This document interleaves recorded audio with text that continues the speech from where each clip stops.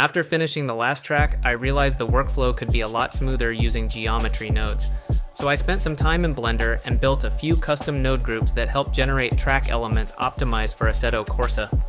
Here's how it works. I start with a reference terrain, a curve to define the road, and a flat plane for the new terrain.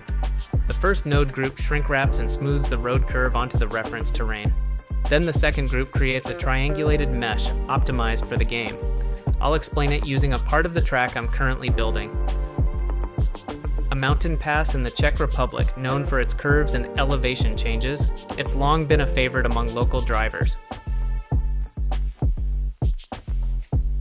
I sourced the reference terrain from a mapping site, downloading a point cloud and an orthophoto texture. Then I used Cloud Compare to convert the point cloud into a mesh, imported it into Blender, and created a material using the downloaded texture.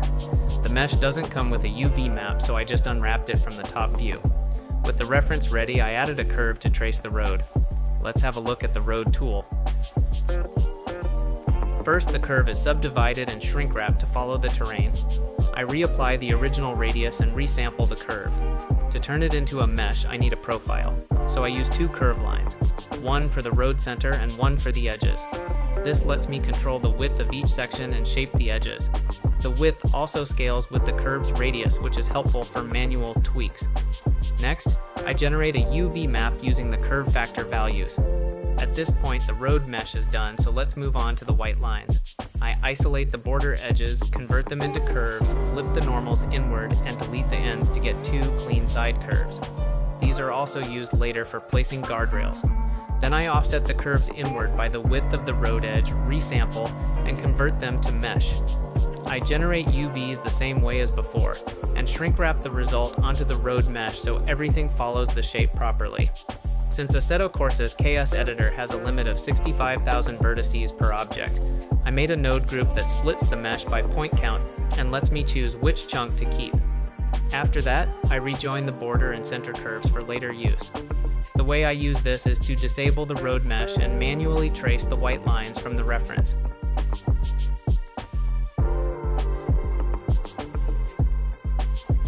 With the road done, I move on to the terrain. This group takes two inputs, the reference terrain object and the road mesh. First, I turn a flat plane into a triangle grid. Then it's subdivided based on proximity to the road. I can also delete terrain that's too far from the road and not needed in-game. Some values need tweaking, otherwise you get holes or overlapping faces, but once it's dialed in, it's a quick way to create optimized terrain with high detail where it matters. The whole grid is then shrink wrapped onto the reference mesh. Next, I smooth the terrain under and around the road to get a flat surface with almost no overlaps. Once that's done, I split the terrain into smaller parts again and it's ready.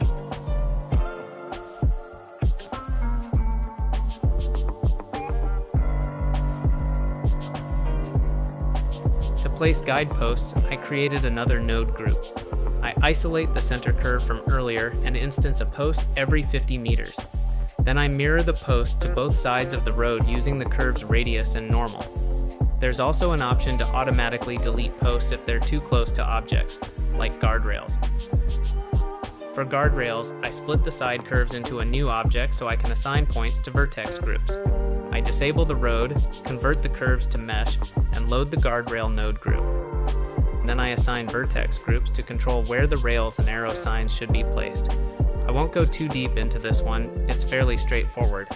The node group builds the mesh from a curve and instances the posts and arrows.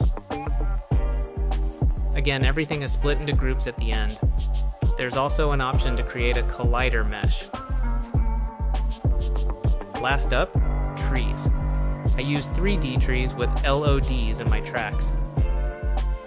To place them in game, I use software called Assetto Corsa Foliage, it doesn't need actual trees in Blender, just a point cloud with their positions. To generate that, I duplicate the terrain and apply the node group. In the group for trees, I use a proximity mask from the road mesh to scatter points onto the terrain. Then I instance a mesh line on each point just so I can apply the modifier. Once I apply everything, I get a clean point cloud that I export as a PCD file and load into AC Foliage.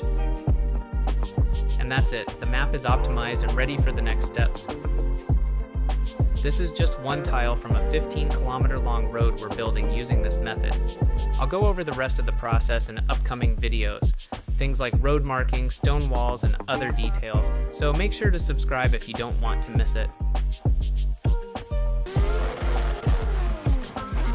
Test version of the track is already available on our Patreon for paid users. The full version will be released for free once testing is complete. If you'd like to try the maps or support the project, check out the Patreon, links in the description. I'm still improving the tools and trying out a few new ideas. Once everything's ready, I'll release the full pack on Blender Market. Thanks for watching. Let me know what you think about the tools and what track we should create next.